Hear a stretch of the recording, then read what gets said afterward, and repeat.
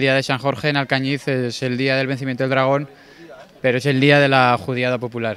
Y como decía, cuando acompaña el tiempo, pues el, salir a, la calle, al campo, es, masivo y hoy se nota con, esta, con esta pradera, con esta zona verde de Alcañiz de los Torreones, eh, plagada, de, plagada de gente. Es un día muy bonito, se lo comentaba hace poco al alcalde, que tenemos esta amistad, por el ambiente, la pradera, la convivencia con los amigos, las judías que están muy bien.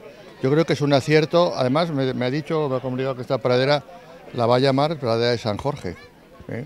Muy bien, estamos aquí estupendamente. Muy buenas, la verdad que han estado cocidicas y buenas, muy bien. Han estado bien, poquicos bocaos, había muy poquita cosa, por lo menos a nosotras, pero de lo demás muy bueno.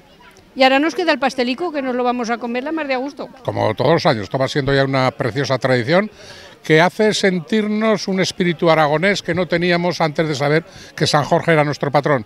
Nos educaron sin saber que teníamos un precioso patrón que además lo celebramos en plena primavera, una maravilla. Me gustan mucho las judías beatas.